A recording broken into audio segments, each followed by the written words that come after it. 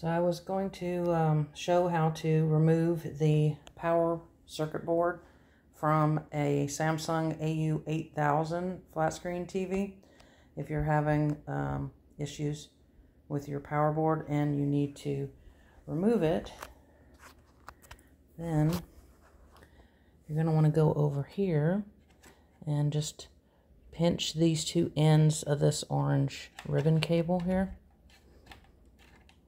well, it's easier to do said than done with one hand.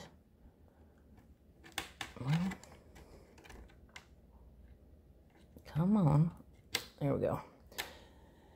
And then the next thing you're going to do is there's some um, a thing here that says lock. And so what you have to do is you have to lift up a little bit on this, but also you have to push down more so. You have to push down on this middle white thing right here to release the board and then you just push it and that should release the whole board. Again, harder to do with one hand. so whenever you're putting one back on, there are these little uh, notches and bumps and then there's some little slots here that are here and here and there's two on the other side.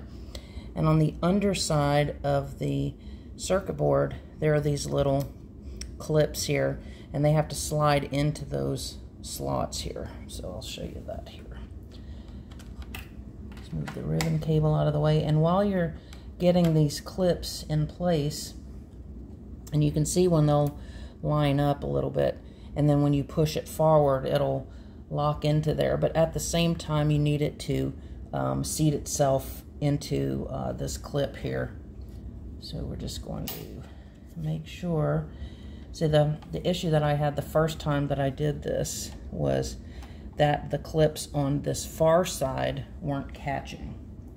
So you have to really make sure that you see that those are going in before you push it forward or it will be clipped in on this this end and then down here it will be um, it'll be loose. So you're just gonna sort of grip it evenly.